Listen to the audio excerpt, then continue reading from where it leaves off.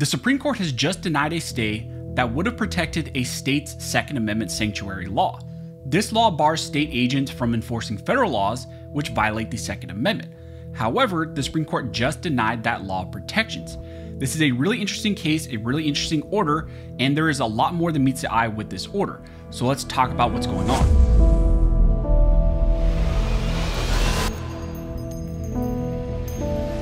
But real quick before we jump into this video, if you think more federal laws which violate the Second Amendment need to be struck down, go ahead and hit that like button and subscribe. So like I mentioned in the intro, in this video, we're gonna be talking about an order that was just issued by the Supreme Court.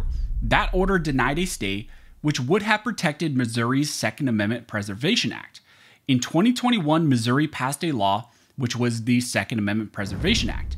That law set the state's interpretation of the Second Amendment and set restrictions on the enforcement of inconsistent federal laws. The law in Missouri prohibits the officers of the state, its agents, its government officials, from helping federal agents and other individuals who are attempting to enforce inconsistent federal laws. The law also created a civil remedy where anyone, any citizen of the state of Missouri, could sue Missouri officials if they help to enforce the federal laws which violate the Second Amendment.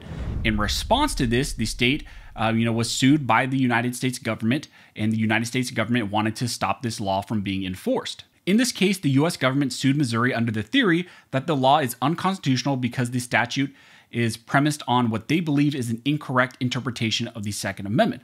Essentially, the US government argued that Missouri's super pro to law that they put in place is unconstitutional, and the government's more limited interpretation of the Second Amendment is in fact correct. The District Court on review agreed and struck down the law in its entirety, and the District Court issued an injunction which prevented the state of Missouri from enforcing the law. Now, what is the law in question here? Well, Missouri passed the Second Amendment Preservation Act through an act called HB 85. The act declares that federal supremacy does not apply to federal laws that restrict or prohibit the manufacture, ownership, and use of firearms, firearms accessories, or ammunition within the state because such laws exceed the scope of federal government's authority. Under this act, no public officer or state or local employee has the authority to enforce firearms laws declared invalid by the act. Any public officer or state or local employee who tries to enforce the firearms laws, which are declared invalid and a violation of the Second Amendment, you know, can be sued by a Missouri state citizen, and they can bring a lawsuit against that officer agent.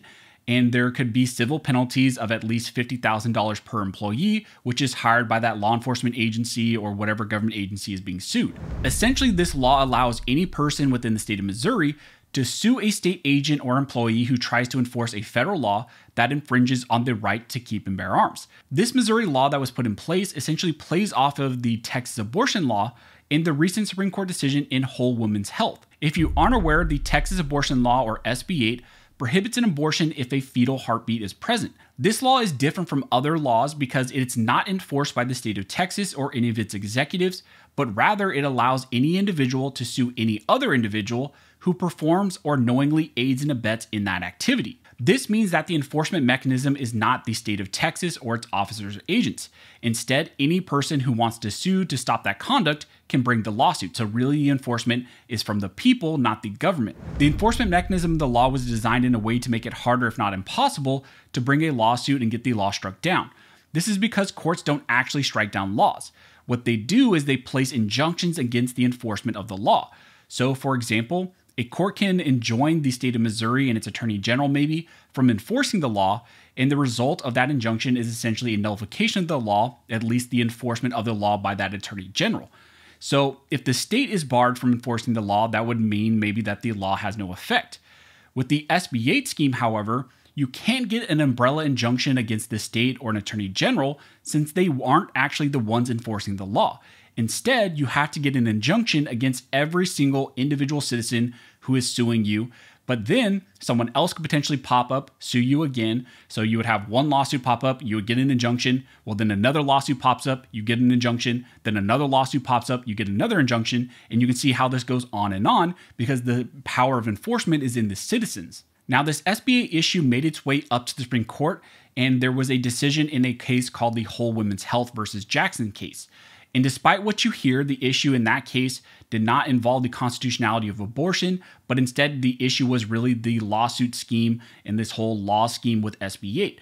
The SB 8 case really dealt with a prior Supreme Court case called Ex parte Young.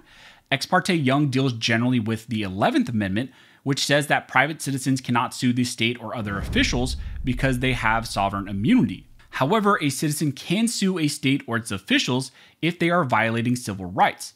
These are known as Section 1983 lawsuits.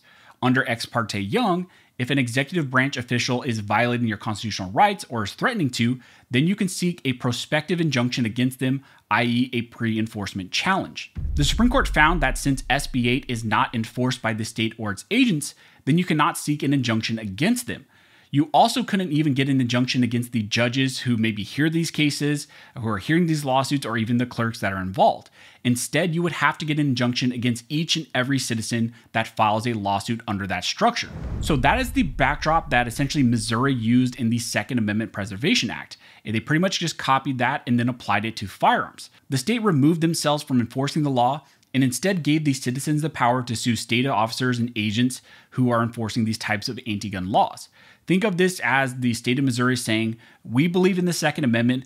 We are passing a super pro 2A law. We aren't going to be the ones enforcing it. Instead, we're giving the power to the citizens to enforce it. And if we ourselves, the state, or any of our officers or agents violate it, then the citizens can sue us. The district court on review struck down the entire Missouri law and enjoined the state of Missouri and its officers and its agents from enforcing it.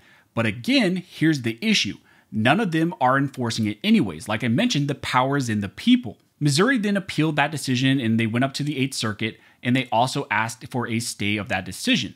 However, the 8th Circuit did deny that stay. And then that led to Missouri filing an emergency application up to Supreme Court and they wanted the Supreme Court to grant a stay. And we got an order from the Supreme Court which actually denied the stay. Now I'm going to read you the order and then we're going to talk about maybe what's going on. The order of the Supreme Court states that the application for stay presented to Justice Kavanaugh and by him referred to the court is denied. Justice Thomas would grant the application for stay. But then we got a statement in the order from two other justices, Justice Gorsuch and then also Alito. It says that statement of Justice Gorsuch, with whom Justice Alito joins, respecting the denial of the application for stay. And this is what they said with the understanding that the district court prohibited only implementation and enforcement of HB 85 by the state of Missouri and its officers, agents, and employees, and any other in active concert with such individuals. I agree with the denial of the application for a stay under the present circumstances. An injunction purporting to bind private parties, not before the district court, or the challenge provisions themselves, however, would be inconsistent with the equitable powers of federal courts. Then they cite to whole women's health. Now, I will say, ideally, in my eyes, I think the Supreme Court should have granted the stay. It would have been cleaner. I agree with Justice Thomas that they should have granted the stay. However, I would say this is not actually catastrophic that maybe some people believe.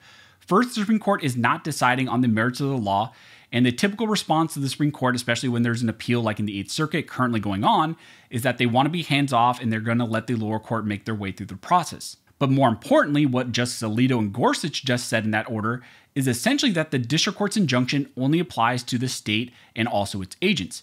That's all the district court could enjoin. They could only enjoin those officers and the agents of the state.